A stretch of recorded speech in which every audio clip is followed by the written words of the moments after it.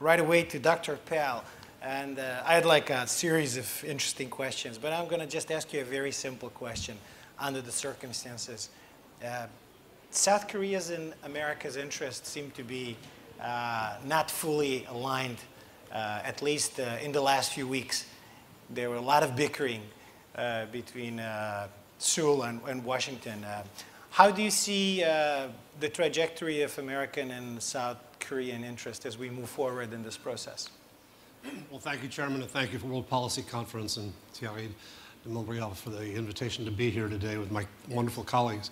Um, to go directly to your question, I think as I try to write the story of the last few years on the Korean Peninsula with the emergence of new leaders in North and South Korea and in China five years ago, um, it's and our, of course, President Trump, uh, the, the main players are all pursuing different objectives and the storylines intersect in very strange ways. Uh, just a year ago, when we talked on this subject here in, or in Marrakesh, uh, it was all about fire and fury.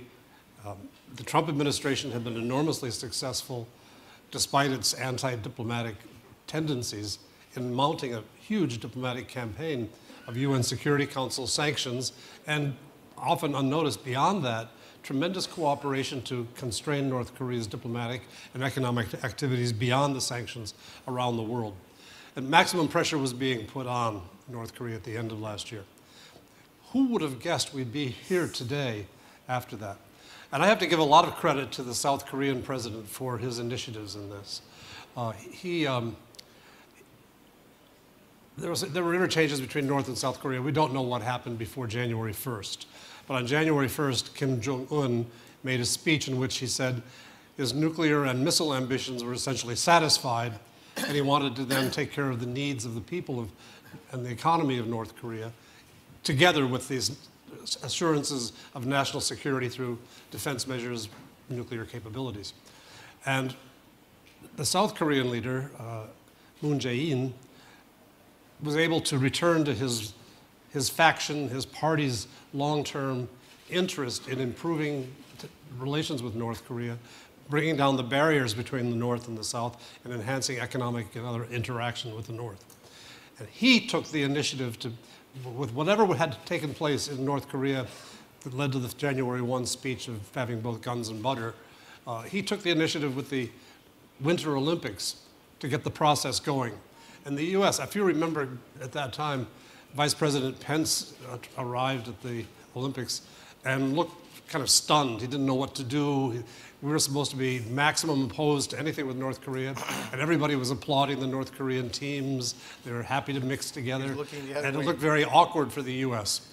Um, we, now, fast forward to where we are today, and we have gone from a position of absolute opposition to the continuation, the so called comprehensive, verifiable, irreversible denuclearization of North Korea, to something which, in reality, that's now got a new name, but in reality is an acknowledgement that we have a new member in the club.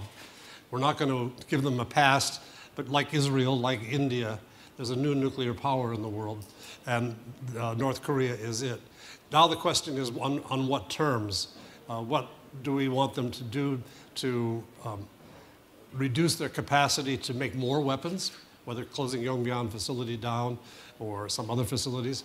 I think we've gone from having very unrealistic expectations to having much more modest uh, expectations of what can be achieved through bilateral negotiations. And I think President Trump is prepared to declare victory uh, fairly soon, maybe at this next summit where he'll say, We're satisfied that progress has been made, that threats have been reduced. Our people will continue to talk about eventual denuclearization, but that's a, a distant horizon, not even a prospect, just a distant horizon. And Trump will have satisfied the American desire to keep the Korea, the Koreas separate from China, because your Cold War strategy requires that we maintain the alliance structure, however uh, dissatisfactory the terms of the alliance may be. And at the same time, he will have a greater ability to pressurize South Korea to take the terms that he dictates for the relationship. And this will have a knock on effect on Japan as well, because their, their calculation is that South Korea and Japan do not have an alternative in the shadow of giant China to being allies of the U.S., but the U.S. will be in a position to set the terms. So it, in all of this, the South Korean president has been soldiering on in his own purposes, to go back to your question, uh, to establish more and more linkages, trying not to transgress the lines drawn by the UN Security Council resolutions, but increasingly doing so. And so what we have is a situation at the end of this process where China's a big winner, as you asked Professor Wong earlier. In my view, that's true. Uh, South Korea's leader is a big winner politically. That may not be sustainable in a democracy. North Korea is a big winner in this. And Trump, at least for the moment, is seen by Americans as having gone from threatening fire and fury to being in a love affair with the North Korean leader. And it's actually selling with the American people that he's brought peace. So it's a four way win out of a very messy situation.